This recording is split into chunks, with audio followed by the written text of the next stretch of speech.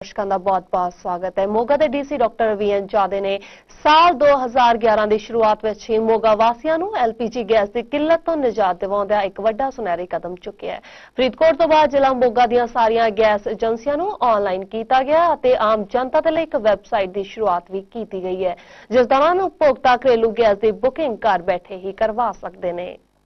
ਮੋਗਾ ਦੇ DC doctor ਵੀ ਐਨ ਜਾਦੇ ਨੇ ਸਾਲ 2011 ਦੀ ਸ਼ੁਰੂਆਤ ਵਿੱਚ ਹੀ ਮੋਗਾ ਵਾਸੀਆਂ ਨੂੰ ਐਲਪੀਜੀ ਗੈਸ ਦੀ ਕਿੱਲਤ ਤੋਂ ਨਿਜਾਤ ਦਿਲਵਾਉਣ ਦੇ ਲਈ ਵੱਡਾ ਸੁਨਹਿਰੀ ਕਦਮ ਚੁੱਕਿਆ ਹੈ। ਉਹਨਾਂ ਨੇ ਫਰੀਦਕੋਟ ਤੋਂ ਬਾਅਦ ਜ਼ਿਲ੍ਹਾ ਮੋਗਾ ਦੀਆਂ ਸਾਰੀਆਂ ਗੈਸ ਏਜੰਸੀਆਂ ਨੂੰ ਆਨਲਾਈਨ ਕਰ ਦਿੱਤਾ ਹੈ ਅਤੇ ਇਸ ਦੇ ਨਾਲ ਹੀ ਆਮ ਜਨਤਾ ਦੇ ਲਈ ਇੱਕ ਵੈਬਸਾਈਟ ਦੀ ਸ਼ੁਰੂਆਤ ਵੀ ਕੀਤੀ ਗਈ ਹੈ, ਜਿਸ ਦੌਰਾਨ ਗੈਸ ਦੀ ਬੁਕਿੰਗ ਉਹ ਘਰ ਬੈਠੇ ਕਰਵਾ ਸਕਦੇ ਨੇ। ਤੇ ਇਸ ਤੋਂ ਵੱਡੀ ਗੱਲ ਇਹ ਹੈ ਕਿ ਇਸ ਵੈਬਸਾਈਟ ਦੇ ਜ਼ਰੀਏ ਆਪਣੀ ਸ਼ਿਕਾਇਤ ਵੀ ਦਰਜ ਕਰਵਾ ਸਕਦੇ ਨੇ, ਜੋ ਕਿ ਜ਼ਿਲ੍ਹੇ ਦੇ ਡੀਸੀ ਦੇ ਦੇਖਰੇਖ ਦੇ ਵਿੱਚ ਹੋਵੇਗੀ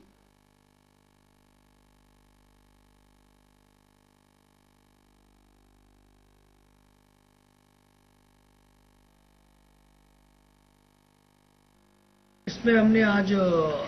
ई ਗਵਰਨੈਂਸ के ਜਿਹੜੇ ਅਧੀਨ ਹੈ ਦੋ ਪ੍ਰੋਜੈਕਟ ਅਸੀਂ ਸ਼ੁਰੂ ਕੀਤੇ ਨੇ ਇੱਕ ਤੋਂ ਤੁਹਾਡਾ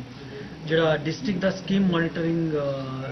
ਸਕੀਮ ਹੈ ਉਹ ਸੌਫਟਵੇਅਰ ਉਹ ਅਸੀਂ ਰਨ ਕੀਤਾ ਸੈਕੰਡਲੀ ਕਿ ਐਲਪੀਜੀ ਜੋ ਟਰੈਕਿੰਗ ਸਿਲੰਡਰ ਟਰੈਕਿੰਗ ਸਿਸਟਮ ਹੈ ਉਹ हमने आज ਇਨੋਵੇਟ ਕੀਤਾ ਹੈ ਇਹਦਾ ਬੇਸਿਕਲੀ ਪਰਪਸ ਹੈ ਪਹਿਲੇ ਕੋਈ ਜਿਹੜੇ ਡਿਸਟ੍ਰਿਕਟ ਦੀ ਸਕੀਮ ਮੋਨੀਟਰਿੰਗ ਹੈ ਉਹਦੇ ਜੋ ਜਿਹੜੇ ਜ਼ਿਲ੍ਹੇ ਵਿੱਚ ਵੱਖ-ਵੱਖ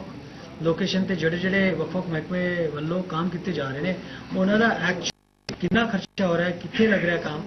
ਕੰਮ ਕਿਹੜੇ ਸਟੇਜ ਤੇ ਹੈ ਕਦੋਂ ਤੱਕ ਕੰਮ ਮੁਕੰਮਲ ਹੋਏਗਾ ਇਹਦੀ ਸਾਰੀ ਜਾਣਕਾਰੀ ਅਲੋਂਗ ਵਿਦ ਫੋਟੋਗ੍ਰਾਫਸ ਉਹ ਅਸੀਂ ਉੱਥੇ ਦਿੱਤੇ। ਹੈ ਪਰਪਸ ਇਹ ਹੈ ਕਿ ਜਿਹੜੇ, ਕਿਉਂਕਿ ਸਿਟੀਜ਼ਨ ਜਿਹੜਾ ਹੈ ਜੋ ਸੁਪਰੀਮ ਹੁੰਦਾ ਹੈ, ਤੋ ਮੀਡੀਆ ਦੇ ਨਾਲ ਗੱਲਬਾਤ ਦੌਰਾਨ ਮੋਗਾ ਜ਼ਿਲ੍ਹੇ ਦੇ ਵਿੱਚ ਹੋ ਰਹੇ ਸਾਰੇ ਵਿਕਾਸ ਦੇ ਕੰਮਾਂ ਨੂੰ ਇਸ ਵੈਬਸਾਈਟ ਤੇ ਪਾਇਆ ਗਿਆ ਹੈ, ਜਿਸ ਦੌਰਾਨ ਆਮ ਲੋਕ ਆਪਣੇ ਸ਼ਹਿਰ ਦੇ ਵਿੱਚ ਹੋ ਰਹੇ ਵਿਕਾਸ ਦੇ ਕੰਮਾਂ ਦੀ ਪੂਰੀ ਜਾਣਕਾਰੀ ਹਾਸਲ ਕਰ ਸਕਦੇ ਨੇ। ਮੋਗਾ ਤੋਂ ਟੀਵੀ 24 ਦੇ ਲਈ ਸੂਰਜ ਜੈਨ ਦੀ ਰਿਪੋਰਟ।